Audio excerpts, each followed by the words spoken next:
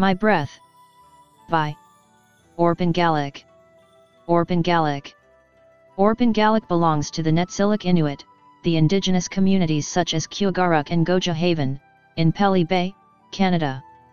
An oral poet whose biography is not available. Orpingalik was identified and exposed by a Danish explorer, Knud Rasmussen, who travelled to Netlik country in Canada during 1923. Rasmussen thought Orpingalik as an interesting man, well at home in the old traditions of his tribe who possessed fertile wit. Orpingalik was an oral poet and considered his songs as his breath. He compares his songs to the comrades in solitude. The number of songs he has composed is not known as he used to sing in all occasions of life. My Breath Published in Eskimo Poems from Canada and Greenland in 1973. Poem from Inuit tradition collected by Rasmussen Knud and translated by Tom Lowenstein. Poem was shared by Orpingalik to Rasmussen. Was written during a period of despondency as a result of a long illness. Reveals a strong emotional connection between hunting and sexuality. Summary The poem is in first-person narrative and the poet, Orpingalik, shared the song with Rasmussen which the poet himself called My Breath. The poem opens with the poet saying that he is going to sing a little song for himself. He states that he has been sick and has turned weak like a child. The poet uses the refrain Unea, in each stanza which means brother. The poet is sad as he is not able to care his wife and says that his wife may go to another house as a refugee. She may have a man who will be her caretaker and she will be secure and firm like the thick winter ice. He is very sad as he is not able to protect her. He states the pathetic condition of the society where the natives are not able to survive. He states that he has no strength even to rise from the bed and so not able to protect her and repeats the refrain.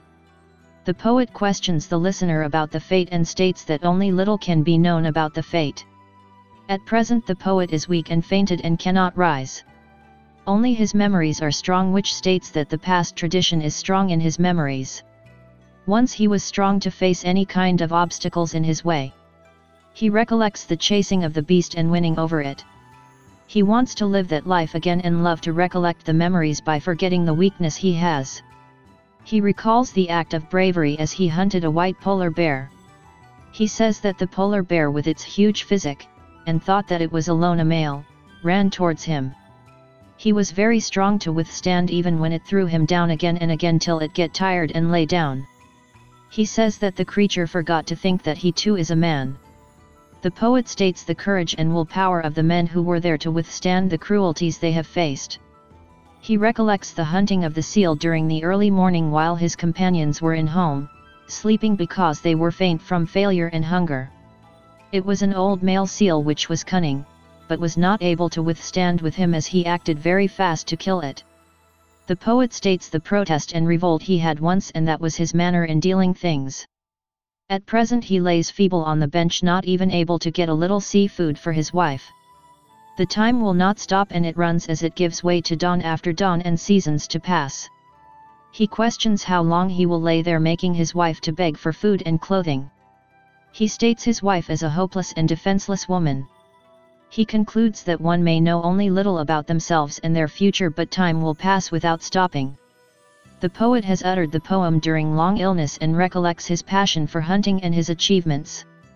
Though highly regarded as an impressive hunter and strong archer, the old age and sickness has made him weak and helpless which time may bring to all human beings.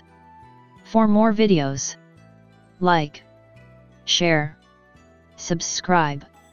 Thank you.